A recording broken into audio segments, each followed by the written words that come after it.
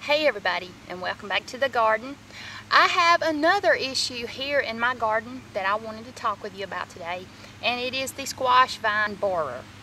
Now if you start noticing your squash looking wilty, maybe yellowing out a little bit, look down here at the stem and you might actually see a little hole in it and a little bit of this orange stuff that looks like sawdust.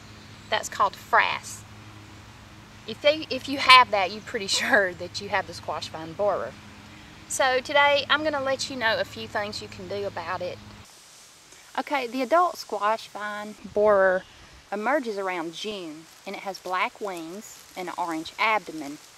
And it is a moth that looks almost like a wasp and the weird thing about it is it flies during the day instead of the night. Now it emerges out of the soil around June and lays a single egg at the base of the plant and that egg will hatch in about a week and that larvae will come out and bore a hole into the stem of your squash to feed.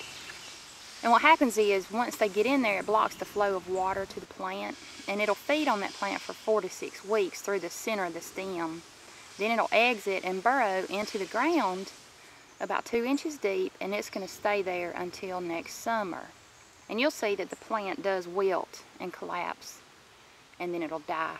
But if you look for the holes near the base with an orange frass that looks like the sawdust, you'll, you'll know you've got them. And the base is going to be super mushy. Now a couple other things you can do to try to ensure that you won't have the squash vine borer pupas in your soil is to actually till it in the fall because they go about two inches deep. So if you till your ground in the fall and then you till it again in the spring, you're probably going to be disturbing that little pupa that is going to end up being the moth. Also, you can add a powder or a bacteria to your soil called Bacillus thuringiensis and it is an organic bacteria that worms in the ground will eat and they will die.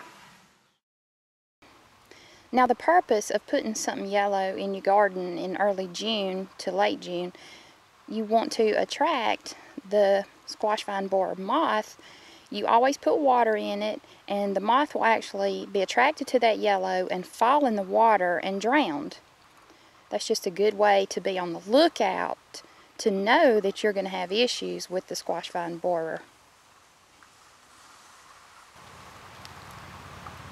Now one of the good things you can do in the beginning if you do plant squash early is go ahead and put some Sevin dust on them. Now a lot of times you can still save your plant if you can actually find that worm in there. You can, after you get him out you can squish the plant back together and put some dirt on it and sometimes it'll regrow some roots.